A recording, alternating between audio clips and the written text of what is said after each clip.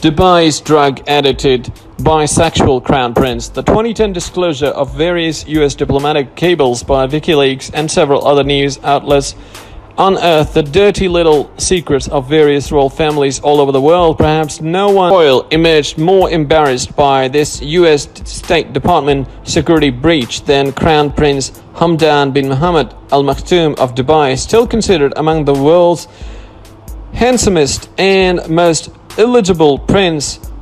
Uh, WikiLeaks exposed documents written by American diplomats stating that the heir to the Dubai's throne was an outcome an out of control drug addict that had been in and out of rehab for years, and that he's a bisexual party boy that enjoys flying in male and female escorts to his father's desert kingdom for weekend orgies. According to the December 2, 2012 post, drug addicted Dubai Crown Prince Hamdan, following the usual footsteps of the Arab royal family, posted on the blog The Muslim Issue worldwide. Within a few days of the cable's disclosure, they were removed from WikiLeaks' website, which to this day makes them the only documents concerning a member of a royal family to have been successfully expunged from their database. This is apparently but one example of the drastic measures the Sheikh Mohammed bin Rashid Al Maktoum of Dubai is willing to take in order to salvage the reputation of his favorite son and designated heir. Born the second son in the family that currently contains 23 children, Prince Hamdan was declared his father's successor in 2008. Uh, uh, Dubai is something of a geopolitical anomaly. While most people presume it's either a sovereign nation or city state, is technically neither. Instead, Dubai existed as a semi autonomous kingdom or emirate within a federation of such kingdoms known as United Arab Emirates founded in early 70s, the, the king of Abu Dhabi is its hereditary president, whereas the king of Dubai serves as the hereditary vice president. Dubai is both the name of the kingdom and the capital city.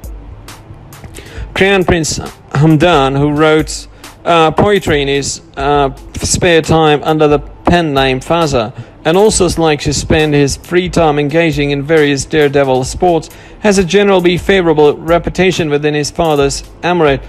Though certain eccentricities of His Highness' character and lifestyle have been noticed but are rarely commented on by his countrymen, some are more interesting rumors that have been made their way to the author's ear blowing from the general direction of Dubai concerning Prince Hamdan's private line included that privately doesn't consider himself gay or straight but prefers to label himself as sexual.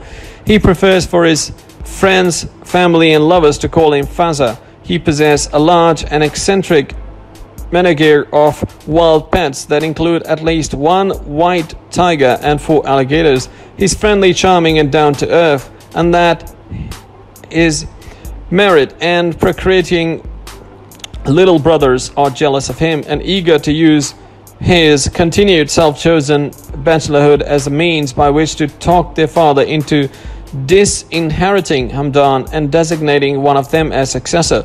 Needless to say, Sheikh Mohammed appears willing to allow his heir to indulge in his private lifestyle and generally looks the other way concerning Hamdan's voices. This is a particularly fortuitous circumstances for Crown Prince for Dubai's laws concerning homosexuality and drug use are as draconian and potentially life terminating as those of their fellow Arab Muslim neighbors. According to the Muslim Issues last post concerning Dubai's heir apparent, he had just finished his latest rumored stint in some presumably European rehab, and after several months of having disappeared from public view, that now resume his role as his Desert King's primary diplomatic spokesmodel. While undoubtedly spoiled and self-indulgent, Crown Prince Hamdan appears to be a privately liberal and forward-thinking young man who will hopefully advance the cause of civil